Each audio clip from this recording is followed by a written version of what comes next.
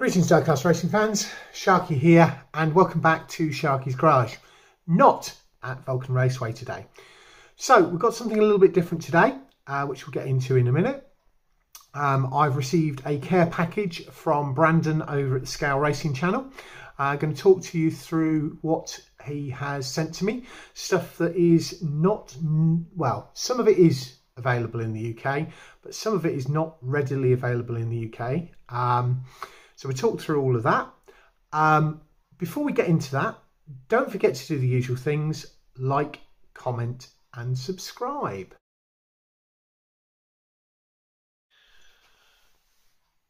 So, excuse me while I take a quick sip of my coffee.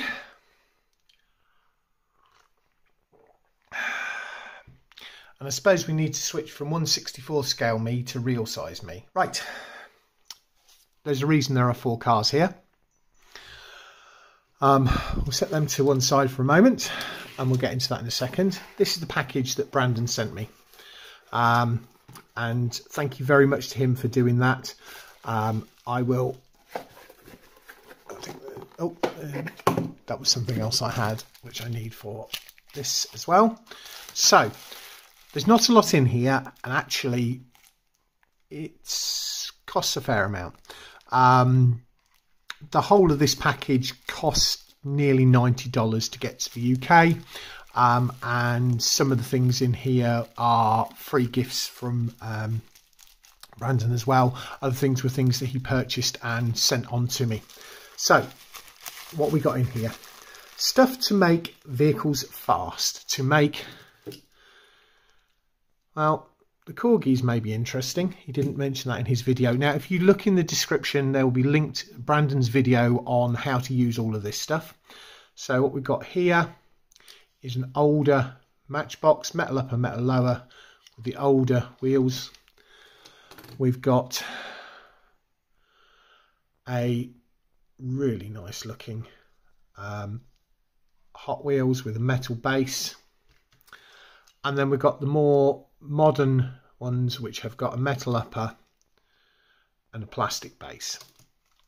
So, Sharky, what's in there? Well, graphite, lube, and there's multiple different types of it. There's some screws in here. Um, there's some drill bits in here. And there are some of these which are called acid brushes. So when you watch Brandon's video, which is, as I say, linked in the description, he will talk you through most of that, um, about what he uses the various things for and how to use them. So we've got two types of uh, lube.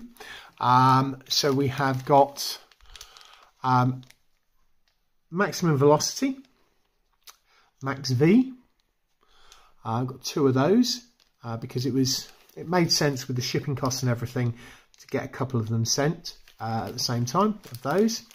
And then in a change from his video where he uses a different type, we have got the XLR8, Accelerate Ultra Graphite. Um, so the Max V is for the inner hubs.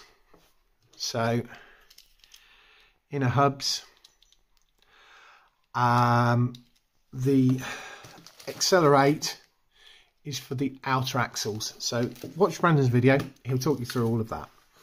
Um, he uses these in his video because when he's got the thing on, he um, uses the brush to tap it to get it all in. So that's what those are for. Um, not covered in that video, but I think he has got videos on the channel, is about um, drilling the bases.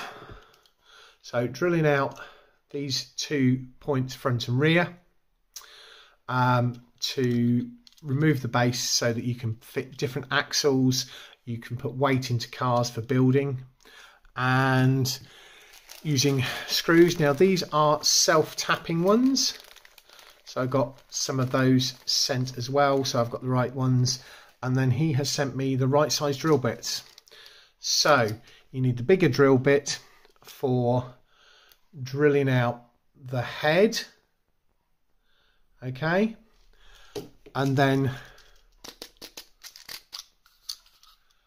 the smaller ones. Let's see if I can get one out of here. These focus.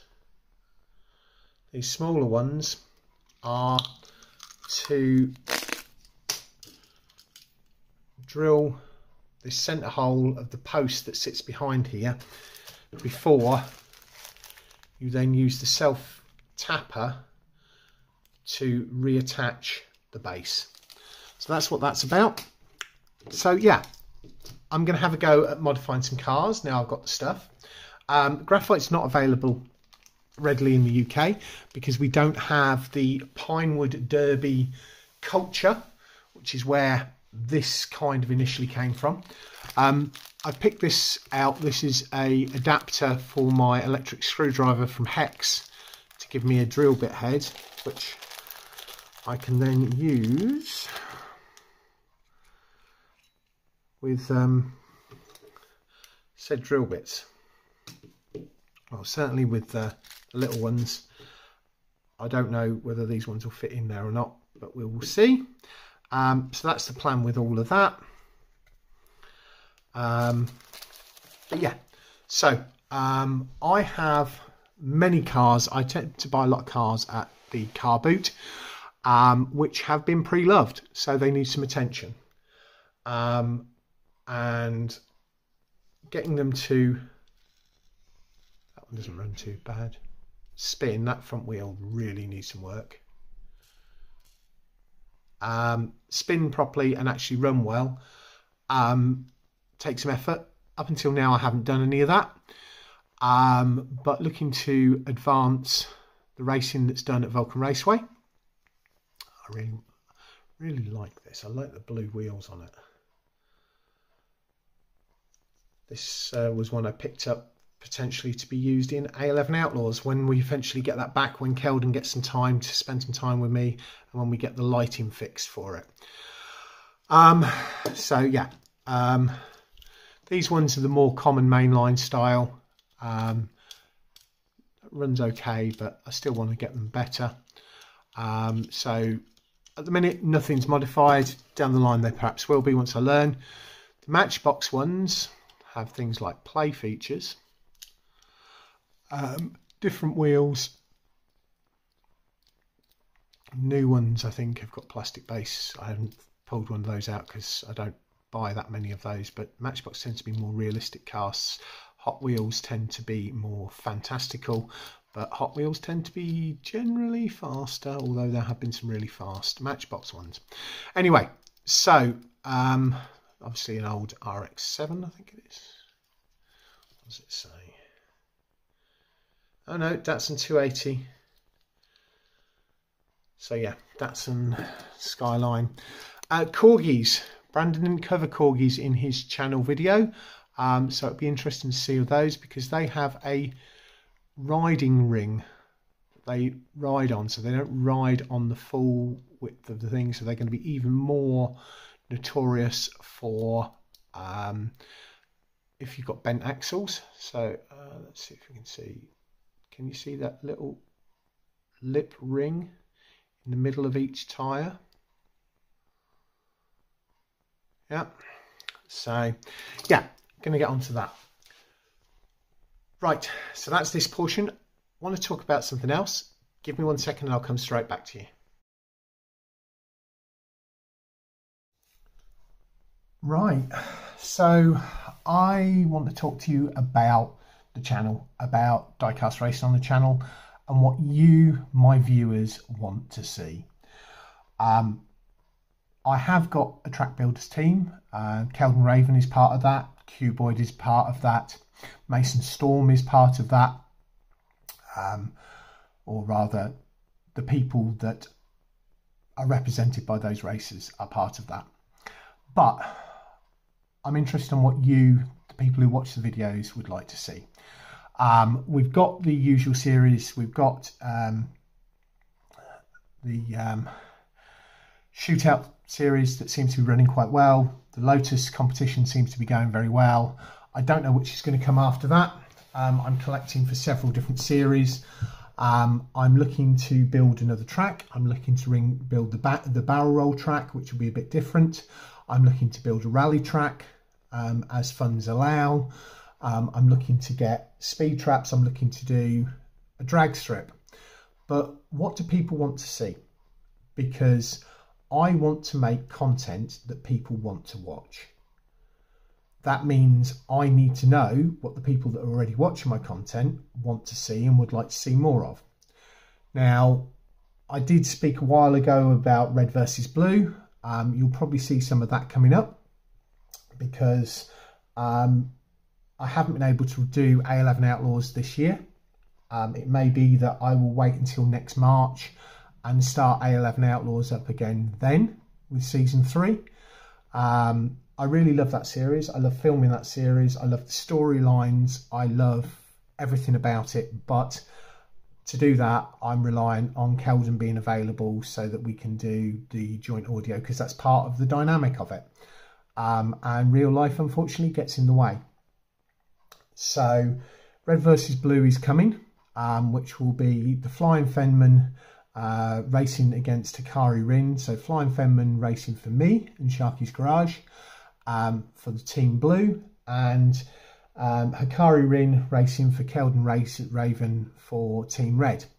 Um, that will be currently on the wing over track, um, looking at probably four pairings of, of vehicles per episode. So four blue cars, four red cars, and on a points tally over a period of time, um, number of episodes. So it should be quite interesting. I need to get on with that and get the graphics done and get on with all of that.